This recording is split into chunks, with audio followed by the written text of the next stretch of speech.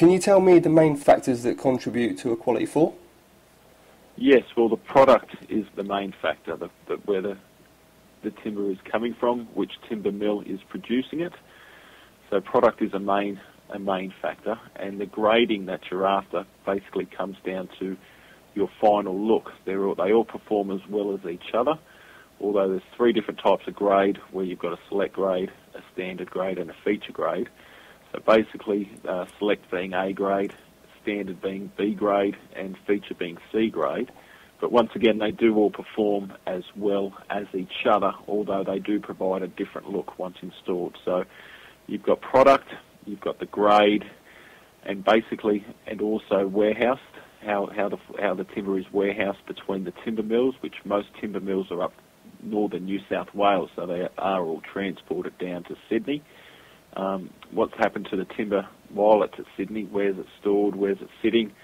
And how does it get to your site? How does it get carried into your home? Are all key factors on what contributes to a quality floor. Okay, so sort of transport has to do with um, whether or not it's going to be damaged, I guess, scratched, that kind of thing, and the care that they're taking. That's right. During transport. All right. Well, second question. Um, so buying hardwood floor is a big investment for a lot of people. Um, some might be afraid. You know, when, whenever you're investing a lot of money in anything, there's the fear that you're going to be taken advantage of. Is there anything consumers need to watch out for when buying hardwood floor? Well, yes, to make sure that you are getting the correct species that you're buying. There's a lot of timbers that are similar from one another, although if they're similar, they could be a bit cheaper. Uh, the timber mill or timber supply could be selling you the cheaper product as the better product, if that makes any sense.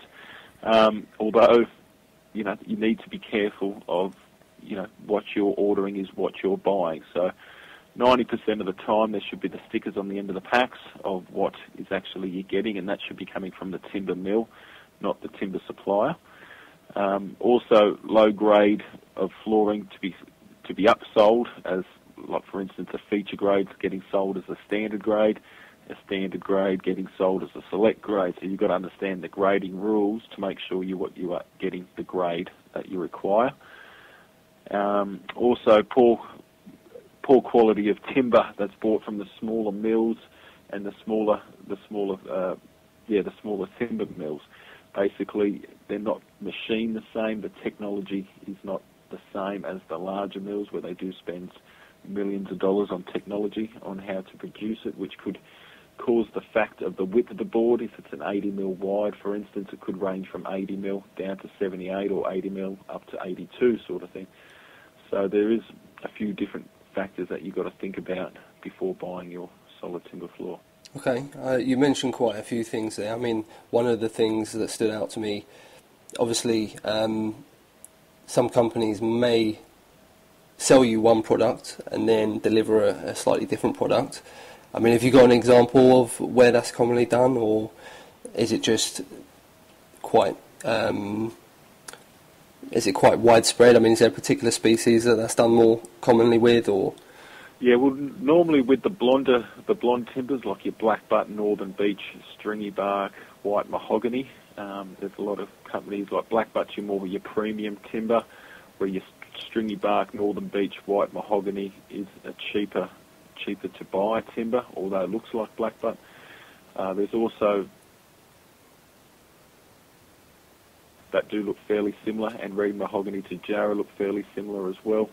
Once again, the you know timbers of blue gum and red mahogany versus jarrah are a lot cheaper. So there's there's just a few of the timbers in the same same colour tones that you might be seeing in showrooms, and then it slightly looks different when it comes to your site. Okay, and the the best defence, like you say, for that is check the uh, the wrapping that it's coming in as it gets delivered. It will yeah, it'll be labelled check on the there. Wrapping, check the ends of the packs. It'll nominate a the size, the grade, and the species of timber, and it'll actually nominate what what timber mill it came from.